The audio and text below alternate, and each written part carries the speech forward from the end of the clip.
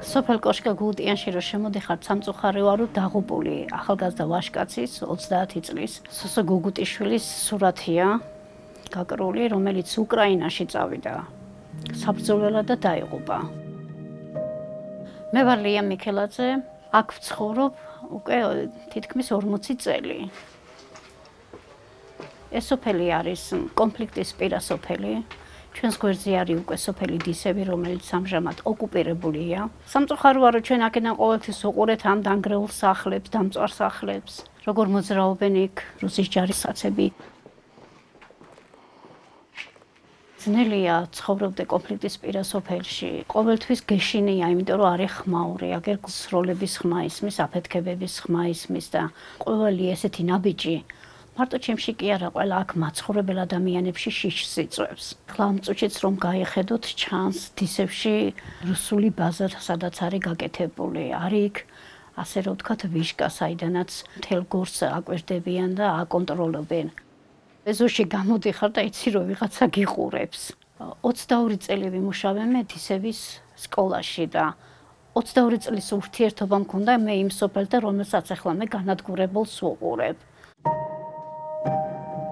მშვიდობა ის არის, რომ არაფრის შიში არა გაქვს, მშვიდად დაიძინებ, გაიღვიძებ. როცა ხმაური გესმის, როლის ხმა გესმის, ამას მშვიდობა არ აქვია. 2008 წლის შემდეგ ჩვენ სოფელში ძალიან ბევრი ადამიანი დააკავეს იმის გამო, რომ საქონელი საძოვარზე ყავდა, ცხინვალში გადაიყვანეს. ამჟამადაც არის ერთი ბიჭი გუგუტიანიდან ცხინვალში დაკავებულია იქ არის და აი ამას ქვია მშვიდობა. ბაღებში რო წახვედი არა სუშიშის გრძნობა გაქვს რო არავინ არ დაგიჭიროს არ წაგიყვანოს და ამას მშვიდობა არ აქვია. გახსენდება ის მომენტი როცა 2008 წელს შეაქვეყავი და დაბომბვა რო წავიდა და დაიწყო სოფლისა და ნუ არც არავის არ გვეგონა რომ რაღაცა ამას დიდი მოვლენა მოხდებოდა და გართულდებოდა. თუ ყველა წავიდა ვინ უნდა დარჩეს აქ? ჩვენ ვართ მესაზღვრეები ჩვენი სოფლისა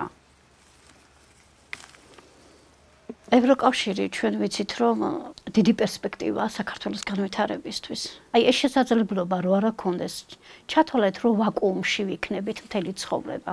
ევროკავშირი ყველაზე დიდ დახმარებას წევს, ვითომეტეს ახლა კონფლიქტის პირასოფლები ვარ და დაფინანსებები ძალიან ბევრი სოფლის მეურნეობის განვითარებაში, ბაღების გაშენებაში, მეხილეობაში, მეფუტკრეობაში.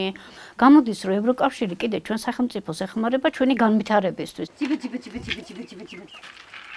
მე დარწმუნებული ვარ რომ ჩვენი მეზობელი ოსი და აფხაზი დაძმები ასე ვიტყვით.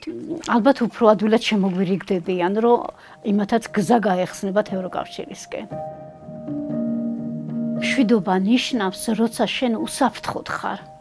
შენი უსაფრთხოება დაცულია და ცხოვრობ ისე, რაც შენს გულს ახალისებს და შენს შენს ცხოვრებას ჭირდება.